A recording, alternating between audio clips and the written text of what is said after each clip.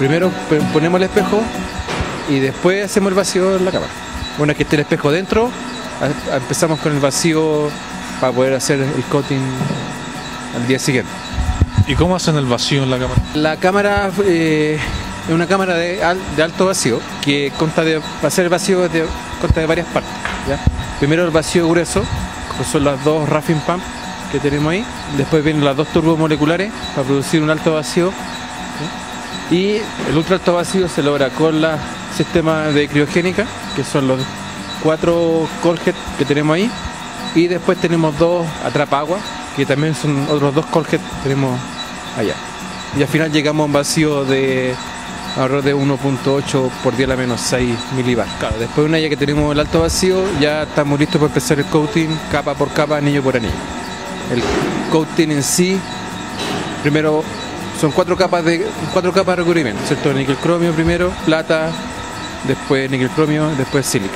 Lo ideal sería poner solamente plata, ¿ya?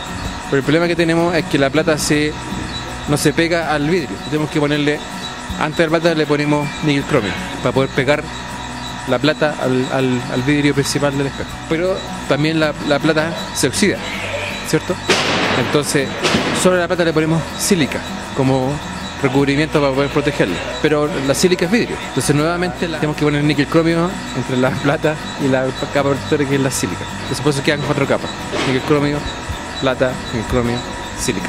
Y son anillos, ya porque el manetrón cubre aproximadamente un metro. Entonces tenemos que hacer tres anillos para cubrir todo el, radio del espejo. El recubrimiento se produce gracias a tres dispositivos que se encuentran al interior de la cámara y que reciben el nombre de magnetrones. Su función consiste en depositar el material sobre el espejo, sea este plata, níquel cromio o sílica. En el magnetrón se crea una nube de iones gracias a una descarga eléctrica aplicada a un gas que puede ser argón para la plata o nitrógeno para el níquel cromio y la sílica. Al mismo tiempo, los imanes del magnetrón forman líneas de campo magnético por las cuales comienzan a derivar los iones para finalizar su deriva impactando una placa de material que se encuentra en la porción más inferior del magnetrón. Al impactar el material se libera una molécula del mismo que cae por efecto de la gravedad y en forma homogénea sobre el espejo. Oye, ¿y después que termina el proceso de coating? ¿Qué ocurre? Como resultado final, la capa de plata en el espejo tiene un grosor mil veces más delgado que el cabello humano. Una vez que la calidad del nuevo recubrimiento cumple los estándares de los especialistas de óptica, el espejo comienza su traslado al cuarto piso para ser reubicado en el telescopio nuevamente. En este momento se está realizando el proceso de amarrar la celda a la sección central del telescopio. Yo voy a indicar con este láser los componentes principales de esta operación. El espejo está contenido dentro de esta estructura azul que vemos acá, que nosotros llamamos la celda del espejo. Esta celda se tiene que conectar a esta otra estructura que está acá, que se llama la sección central del telescopio. La celda se une a la estructura central del telescopio con seis pernos grandes que van ubicados uno aquí, el otro acá y el otro allá.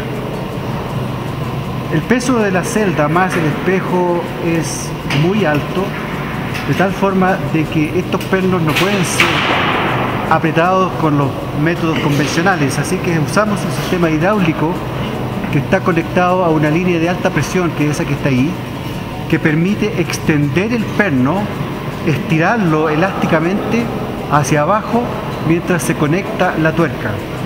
Una vez que la tuerca está conectada y apretada allá arriba, se alivia la presión hidráulica de esta línea y el pistón y el perno se retraen y de esa forma se provee la fuerza axial que necesita el perno para poder soportar el peso de la celda. En este momento estamos procediendo a conectar los pernos, mientras tanto el peso de la celda está siendo soportado por esta estructura amarilla que está acá, que conocemos como el carro de la celda. Esta máquina es la que está efectivamente soportando el peso de la celda mientras se procede al montaje de estos pernos. Una vez que estos pernos estén apretados, el carro va a ser extraído hacia afuera para facilitar la instalación del rotador que va ubicado acá, el rotador de cables y la estructura que soporta a los instrumentos. Luego que la celda regresa a su lugar, se instalará el Cassegrain Wrap, sistema que impide que los cables de fibra óptica, las líneas de helio, aire y glicol se enreden durante los movimientos del telescopio. A este sistema se le realizó una extensiva mantención que incluyó el cambio completo de las líneas de helio por otras nuevas, además de reordenar todo el cableaje. Tras varias horas de trabajo, ya es posible instalar el servicio de soporte de instrumentos, además de los contrapesos y cada uno de los instrumentos. El primero en ser conectado al telescopio es Phoenix, seguido por Gimos, Jikal, Nikki y T-Rex. Se suma a ellos la instalación del baffle en el orificio central del telescopio. El recubrimiento recién efectuado sobre el espejo primario es considerado como el mejor que se haya logrado en Gemini, ya que su calidad permitirá asegurar entre 6 y 10 años de operación sin necesidad de otro recubrimiento.